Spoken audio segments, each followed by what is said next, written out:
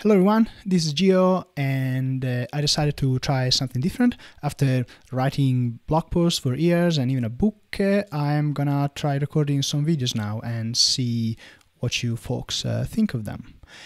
The very first video that I wanna share with you is um, a quick introduction to the test-driven development workflow in a SwiftUI application. To test SwiftUI application, you don't test SwiftUI code to test a SwiftUI app, you do not write unit tests for the SwiftUI views. You extract all the logic, all the content generation logic outside of SwiftUI, and uh, you test that in isolation. What does that? How, how does that look like? Well, see here we have the the template uh, SwiftUI app that Xcode generates for us. Uh, it just prints hello world. Let's make it a bit more interesting and let's say that um, if there is a user in the app, um, or rather if uh, we pass a username to the to the view, it is gonna say hello name. And uh, otherwise, if there's no username, it's gonna just say hello world. Okay. How can we do that? Well, one option would be to write it in line, and uh, I might record the video to show you why I don't think that's a good uh, idea. Uh, the option I advocate for is to uh, extract the logic. The if there's a user, write hello user. Otherwise, else write hello world in uh, like a SwiftUI free piece of logic, and um, implement that with unit test with test-driven development. I'm going to show you how. So the first step, of course, whenever we do test-driven development is to write a test. No, is to think. How are we going to write this code? Well, I imagine it's going to be a function. It could be inside an object, but just to keep it simple, let's just make a free function. A function that I'm going to call something like hello, and uh, it can take an optional string as input, do is, is, is work inside, and spit out a string that then the SwiftUI view can can render. Now that I have this plan in mind, I can move on and, and write a test. We already have this template test, uh, which uh, we can just get rid of and replace with the scaffold for our own test.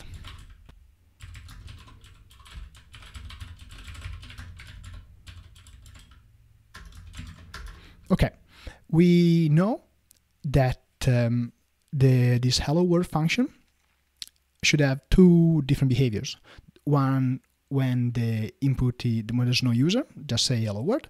The other one is when there is a user, say hello user. So let's write um, the um, definition of two tests to verify this behavior. They could be comments or the way I like to do it is just write the empty test functions.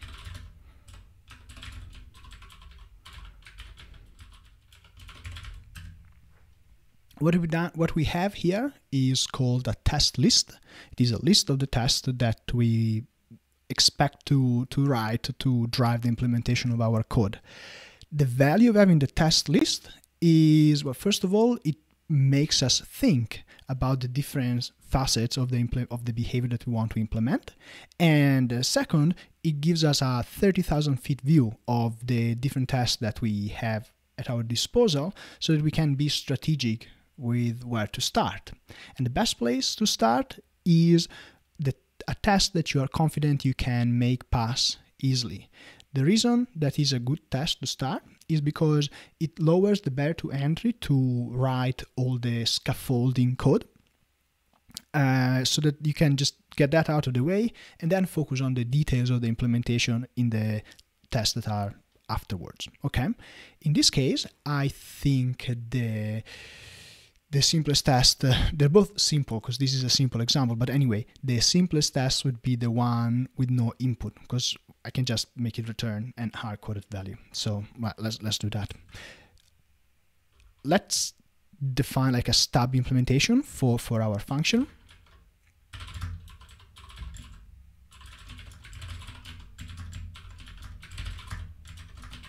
And this is just enough so that the compiler is going to be happy and is not going to annoy us uh, by saying, hey, you haven't defined that when we implement it.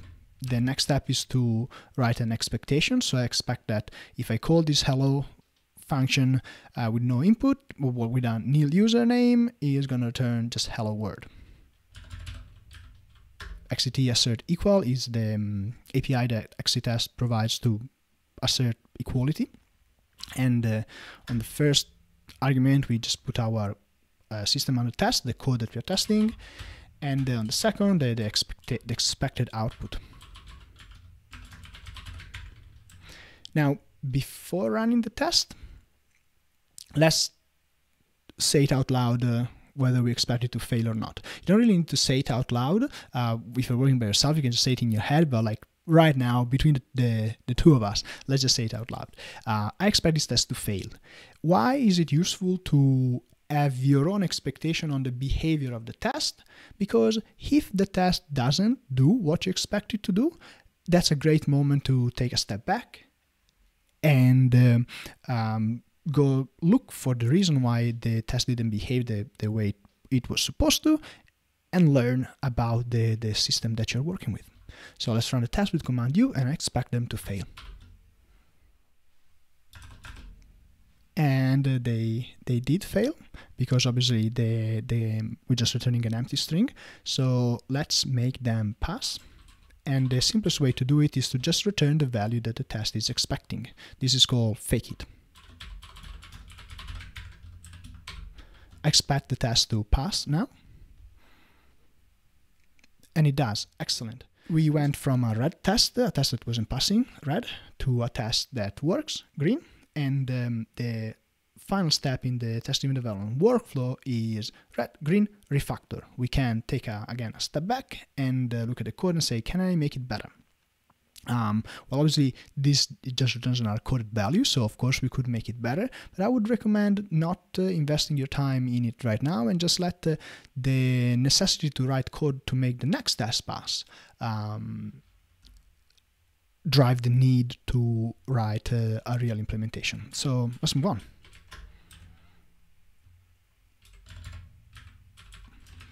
I wrote this test, so like I, you give name as input and uh, you should say hello name uh, as the output. Uh, let's run the test and I expect them to fail.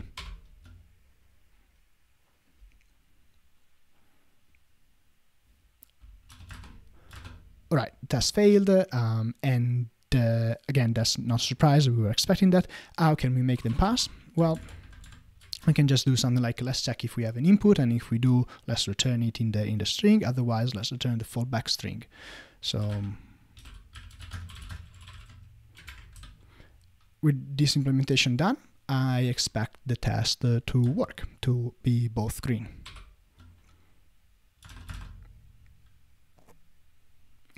My code is working. Happy days. Again, we went from the red state to the green state, and now it's time to ask the question, can we make the code better? Look, for such a simple function, I think this code is okay, but just for fun, let's uh, play around with it so we, I can show you how easy it is to uh, refactor code when you have a test suite that verifies the code's behavior behind you.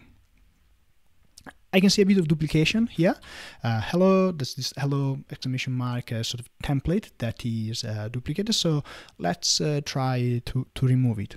Uh, for example, we can um, use name or word as the value to interpolate in a template string.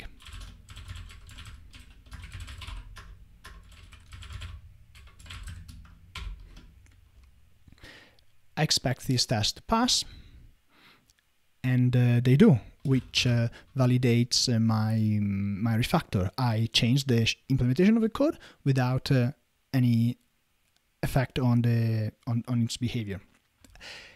I don't like this implementation too much. It's so long. So um, look, can we make it a one-liner? And I think we can if we compromise a bit on the on the readability. We can um, map on this optional value so that if we there is a value, we get it. Otherwise, we just say um, world. And actually, now that I think about it, we don't really need to do this silly map. We can just do name or world. I expect the test to pass again. And they do. Excellent. And now we can uh, get rid of, of that code up there. Run a test again. And they still pass. Sweet. Now, it is the time to bring it all together and move this code into the into the SwiftUI layer. Um, as you might have seen, I wrote it all in the test. Uh, this is something that I find useful when working with little pieces of code that are, that are new. Instead of creating the new file, just get started in the test so that you can move a bit faster. Now let's add the, the, the new file. Here I move the function into its own file. And um, now let's go use it into the into the view.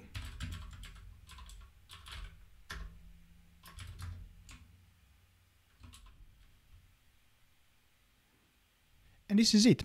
Um, obviously, this was a very simple example, but that's the gist of how to fit test-driven development into a SwiftUI application. To test a SwiftUI application, don't test the SwiftUI code. Extract all the content generation into SwiftUI free components and test them in isolation and leave the SwiftUI views responsible only to declare the layout, synchronize the data, and uh, feed them uh, an input state made up of those uh, SwiftUI free component that you've implemented in isolation. Um, in the next videos, we'll see how to take this simple example like a, a step forward, introducing a, a view model and some uh, state in, in the application. I hope you found this useful. And um, I would be remiss if I didn't mention that if you want to learn more about uh, test driven development, uh, you should check out my book, Test Driven Development in Swift. You can find it at uh, uh, tddinswift.com. And if you want to get in touch, you have some comments, um, just drop them below or get in touch on Twitter at uh, Uh, thank you. Uh, see you next time. Ciao, ciao.